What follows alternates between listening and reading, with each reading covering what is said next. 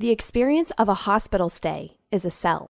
The greed and desire for big business amongst hospital administrations, along with the government's drive to make better experiences available, is creating an opportunity for sound to become a player.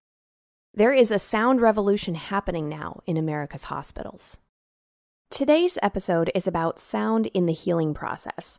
I wanted to explore both sides of it, not just the therapeutic side, but the side of sound that slows down or even stunts the healing process. This may seem a far stretch from my focus of sound and marketing, but bear with me as I break it down. I have a point, I promise. My name is Jeanna Isham, and I'm head of audio at Dreamr Productions and Stageham Entertainment, and this is the Sound in Marketing Podcast. Sound aiding in the healing process is not a new concept. The earliest findings of its use were with the Aborigines in Australia. Ever heard of a didgeridoo? Also known as a yidaki, a didgeridoo was a man made instrument created to emit low frequency sounds in order to heal ill tribe members. Not only did these sounds repair broken bones and muscle tears, the sounds also stabilized individuals who were mentally ill, soothing their minds and internal flow. In ancient Egypt, Egyptian priestesses would use a sistra, a type of musical rattle with metal discs, while performing healing rituals. This, accompanied by a harp and played in reverberant chapels or burial chambers, generated sufficient amounts of ultrasound, which facilitated healing at the cellular level. This process reduced pain and increased circulation as well as mobility of soft tissue.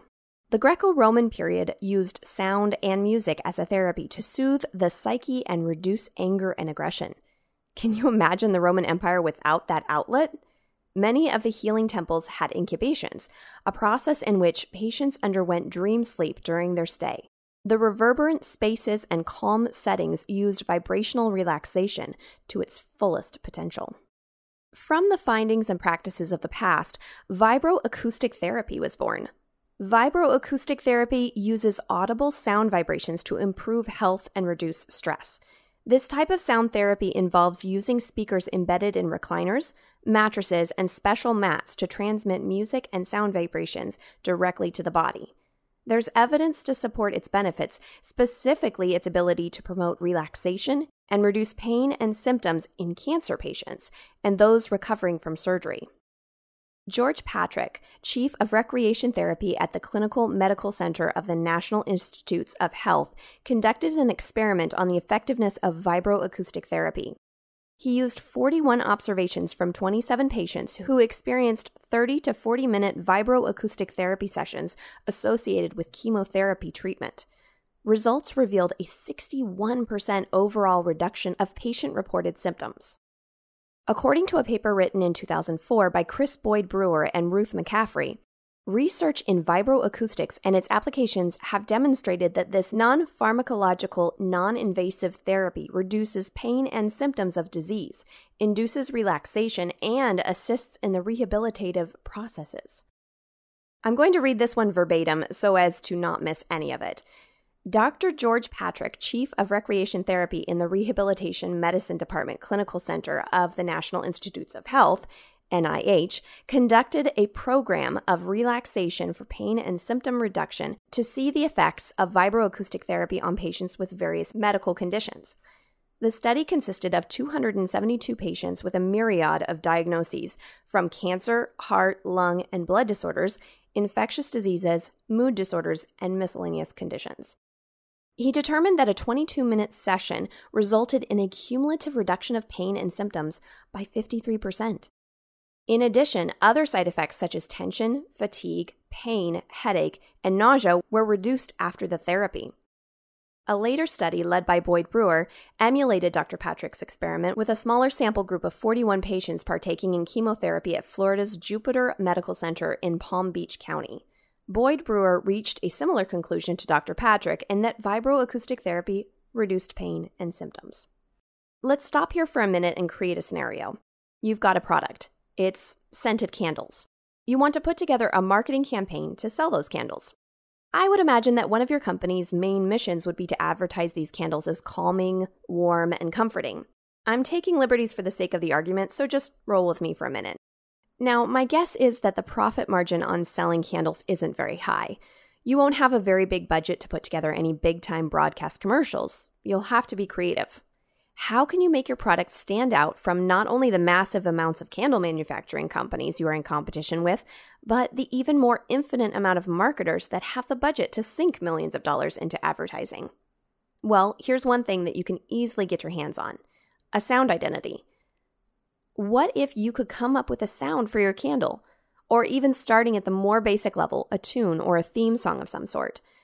Maybe you don't have the musical knowledge to facilitate writing something like that right off the bat, but you do know now that the lower frequencies are highly relaxing and therapeutic.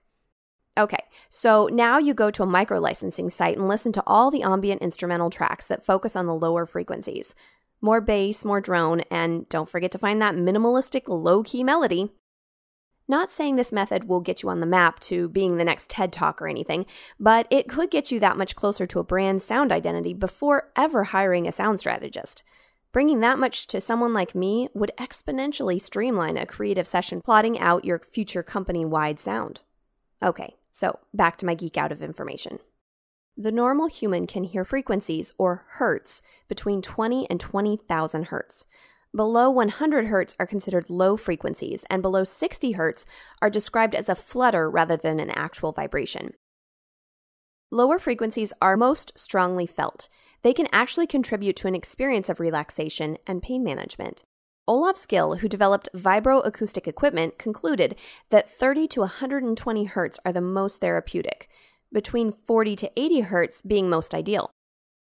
As stated before in the early history of sound, vibrations don't only soothe ailing patients, they can heal them. Ultrasound uses frequencies in the sonic range to project images, prescribe diagnosis, and even in the treatment of tissue contractures. Lithotripsy is used to shatter kidney stones. Frequencies are so important that they can affect not only your emotions, they affect you at the cellular level.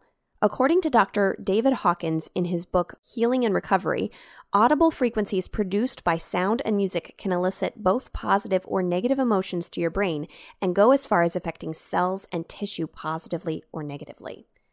Neuroscientist Seth Horowitz wrote in his book, The Universal Sense How Hearing Shapes the Mind, certain rhythms may affect neural hormonal changes to your cortex. Just in case you weren't aware, the cortex is the largest part of your brain that plays a big role in memory, attention, perception, cognition, awareness, thought, language, and consciousness. Basically, everything. Sound familiar to your marketing plan? This is the part of the brain we as marketers most want to affect. Here's a great summation of a research paper in 2005. The low vibrations increase cellular movement, thus increasing energy and cellular regeneration in the body. Consequently, inflammation and pain are reduced because of this treatment. With the addition of music, patients are prone to have an increase in relaxation and decrease in psychological disturbances, such as depression, anxiety, and nausea. Furthermore, individuals with behavioral impulses and autism are found to have a decrease in aggressive outbursts and actions. If these results are consistent in future studies, vibroacoustic therapy can replace pharmaceuticals and eliminate the potential side effects that arise from usage. Because not all of us work with hertz every day, I'll explain it in a different context to show you relevance. My speaking voice tends to land at around 500 hertz. James Earl Jones tends to land in the 85 hertz range. Fran Drescher from The Nanny hovers around 900 to 2000 hertz. As stated before, 40 to 80 hertz is ideally the most therapeutic. Do you get my drift? I think we can all pretty much agree that James's voice is much more pleasant to listen to than Fran.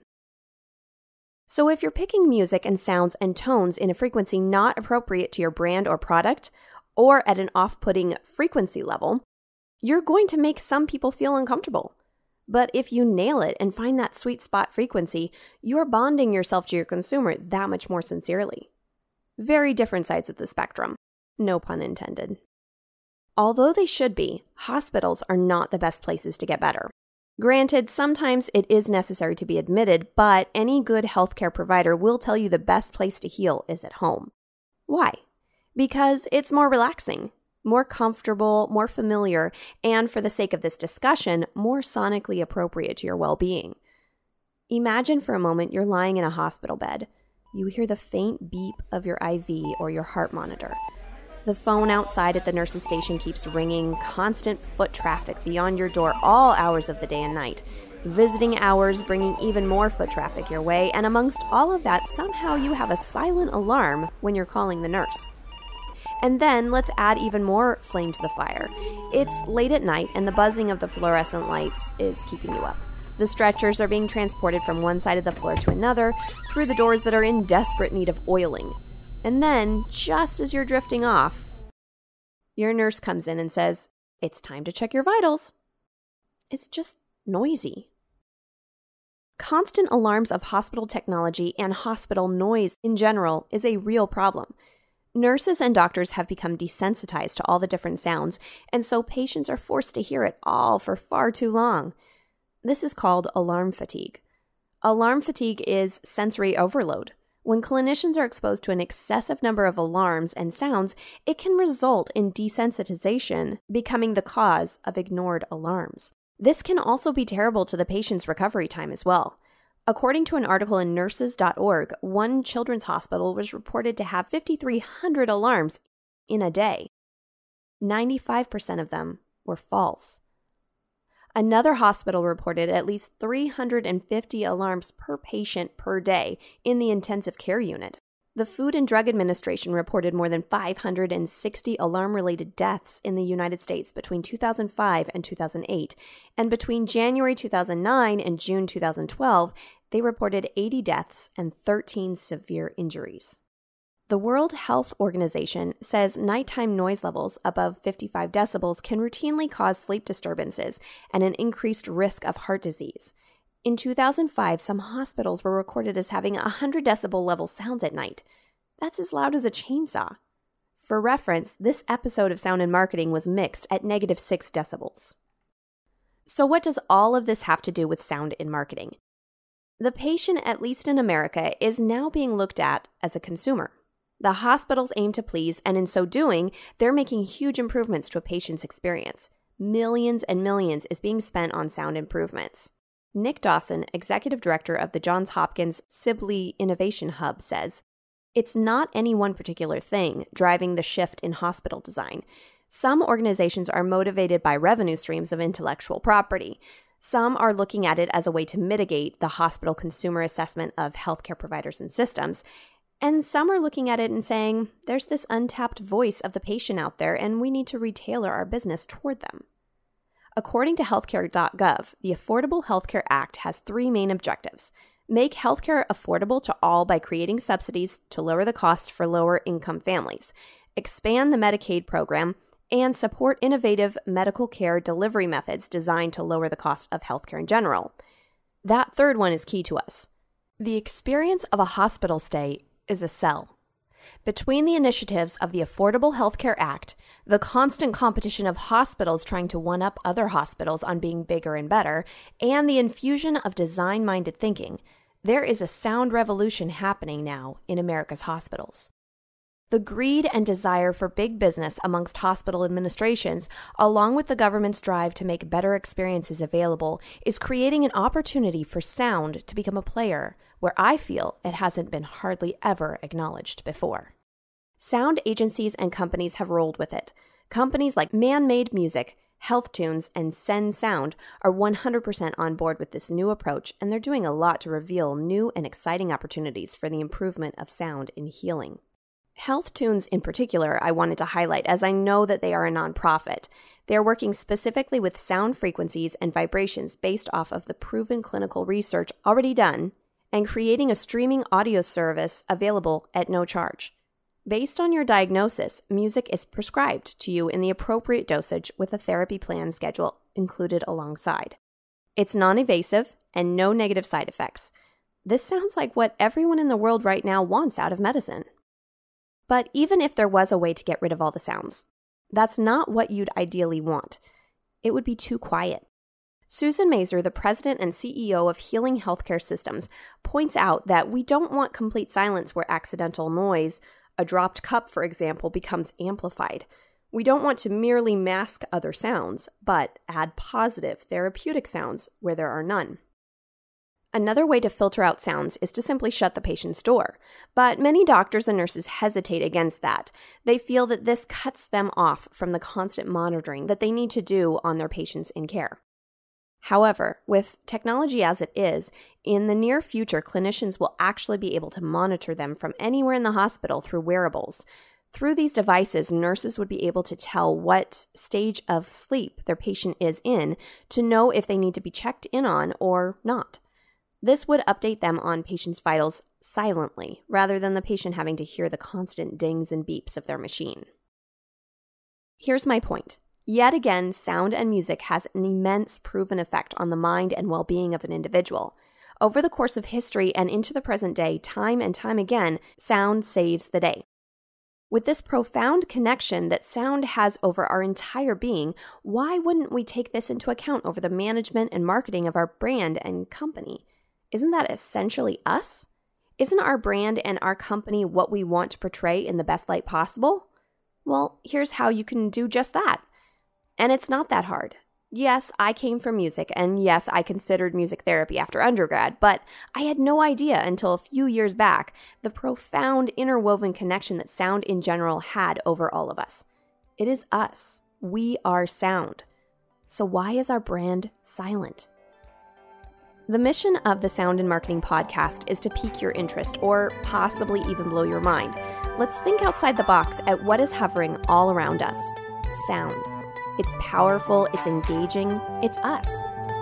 This podcast was produced by Dreamr Productions and hosted, written, and edited by me, Jeanna Isham. For inquiries on producing and developing your own podcast, or for inquiries on sonic branding and sonic branding consultation availabilities, you can find me at the Dreamr Productions website. That's